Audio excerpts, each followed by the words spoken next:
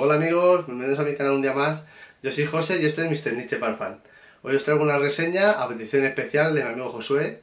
Hola Josué, que quería saber de esta fragancia. Es Blicker Street de Bond Night. Esta es una fragancia que para mí es súper versátil. Yo la uso todo, todo el año, aunque yo realmente creo que donde más brilla y se le saca mucho más partido aún es con un poquito de calor. O sea, primavera, verano o días así un poquito soleados, esta funciona de maravilla. Aviso, sabéis que yo no soy amigo de los cumplidos, pero esta fragancia la tienen familiares y amigos que les he dado yo de Cans y todos me dicen lo mismo, que reciben muchos cumplidos y que le dicen que es muy sexy, tanto hombres como mujeres. Os lo digo para los que buscáis siempre el santo grial de la seducción o perfumes para recibir cumplidos, para que probéis este si no lo tenéis. Vamos con sus notas. Notas de salida. Para mí esto, según te lo echas, es un golpetazo verde y morado, como el bote. O sea, y brillante, así. Como si fuera un día de sol y te metes un golpe de arándanos y verde. Pues eso es la salida. Intensa, dulce y verde. Pero muy brillante. O sea, no es para nada una fragancia oscura. O sea, porque tenga ese olor verde, no penséis que es un verde, un verde oscuro, no, no. Es brillante. O sea, se notan las notas verdes. Como, como si fuera como con sol, y sobre todo esa nota de, arándanos que endulza de principio a fin lo que es la composición. Durante su composición va adquiriendo siempre algo más de dulzura, pero las notas que hay intermedias siempre intentan pararlo para que nunca llegue a ser gourmand. Es una fragancia dulce, pero no llega a ser gourmand. Os lo digo por si buscáis un gourmand, aquí no lo vais a encontrar. Es dulce, pero no se suele pasar. Las notas de madera, de cedro, y el toque de jazmín hacen que después de esa salida explosiva el arándano no se vaya de dulzura.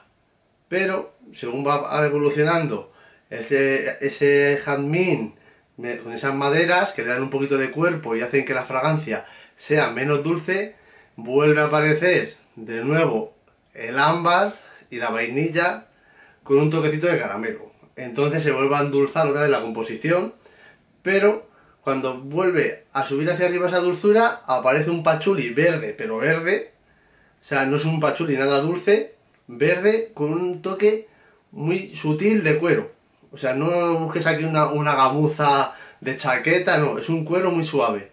Lo justo junto a este pachuli para agarrar la composición y no se vaya de dulzura.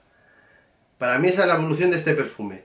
Una explosión verde y dulce en la salida que luego se calma un poco y se, queda un poco empolvadita con el cedro y el jazmín, pero que luego vuelve a tener otro fondo más de dulzura, pero se controla gracias al toque de pachuli verde, que le mete mucho más verde aún de lo que ya tiene, y el toque de cuero, que es una gamuza muy suavecita. Eso hace que tenga una buena base el perfume, porque tampoco es una agüita ni es no es un aroma fresco, pero si notas la nota verde presente y, el, y la dulzura. O sea, es una nota de arándanos con vainilla y sobre todo las notas verdes están de principio a fin. O sea, para mí es una fragancia que es perfecta para todo el año, aunque parezca que solo para el día de calor, no. Funciona muy bien en invierno, a lo mejor para un día lluvioso no me lo pondría, pero para cualquier otro día creo que es una fragancia muy versátil.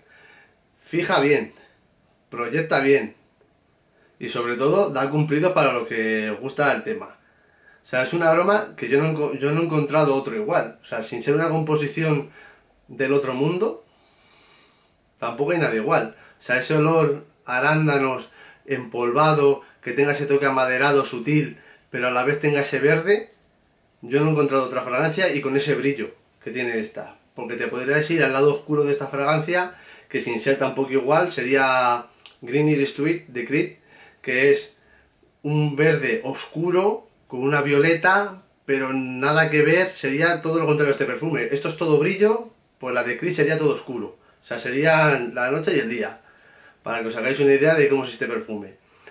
Ya digo, es una buena intensidad, sobre todo para mí eso es un perfume alegre. O sea, si os gustan los perfumes llamativos, que tengan mucha explosión, que tengan que te dan una, una nota frutal que se note, porque hay gente que no le gustan las notas afrutadas. Aquí se nota. Aquí el arándano te lo comes con patatas, según te echas un spray ya te estás comiendo el arándano. Te lo digo por si no os gustan las notas frutales en exceso, aquí se nota. Pero ya os digo, la composición de este perfume va de unas notas muy verdes y frutales en la salida, explosivas, a unas notas amaderadas que se van calmando, se vuelven a endulzar, pero otra vez se vuelven a calmar. Es una fragancia súper sexy, os lo digo. Para mí, este olor no lo he olido en otra. Os digo porque también leí cuando yo busqué esta fragancia, que yo no la tenía, y estuve buscando un montón de reseñas, a ver dónde me podía fijar, y vi unas reseñas que ponían que esta fragancia era igual que esta. Que Aventus. El iluminado que hizo la reseña no sé dónde estará, pero esto no se parece a esto ni de coña. Os lo digo, porque si compréis, compréis Liquid Street pensando que huele a esto, no lo compréis. Porque, además, dicen que, es, que esta se parecía a Ventus. Y volvemos a lo mismo, hay un problema con el orden cronológico de las cosas. Esta fragancia es del 2010. Y esta es del 2005. Lo digo porque es que hay mucho hater por ahí que le gusta mucho decir que esto parece ser que estaba en la época romana, ya existía por entonces, y esto ha inventado todo lo demás. No confundáis. Esto estaba antes, pero no se parecen para nada.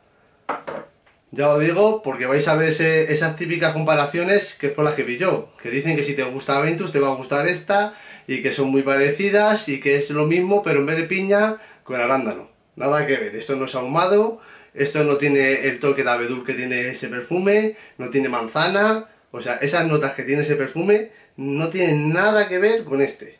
Lo digo por si vais a llevar una desilusión al probarlo o, pensáis que os han engañado. O sea, yo os digo yo que no se parece. Este es un perfume que os quede claro como el frasco. Verde, brillante y morado. Este, este perfume es así. De principio a fin. Así que espero que os haya gustado la reseña. Si os ha gustado, dadle al like, suscribiros al canal, dadle a la campanita para próximos vídeos y como siempre muchas gracias por seguirme, eh, por perder tiempo y ver mis vídeos y sobre todo por el apoyo recibido y que agradezco que mi sinceridad os guste.